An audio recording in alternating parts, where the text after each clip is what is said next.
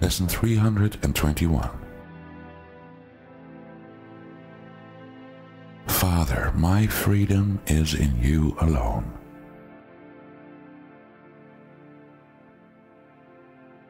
I did not understand what made me free, nor what my freedom is, nor where to look to find it.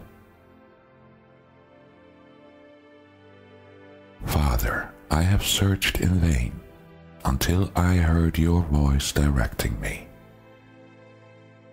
Now I would guide myself no more, for I have neither made nor understood the way to find my freedom, but I trust in you. You who endowed me with my freedom as your holy Son will not be lost to me. Your voice directs me, and the way to you is opening and clear to me at last.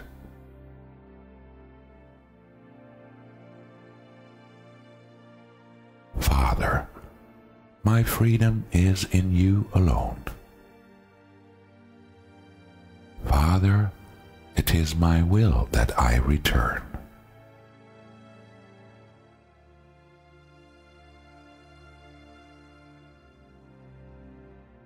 Today we answer for the world which will be freed along with us.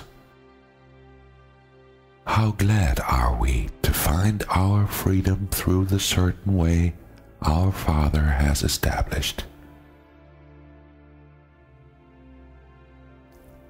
And how sure is all the world's salvation when we learn our freedom can be found in God alone.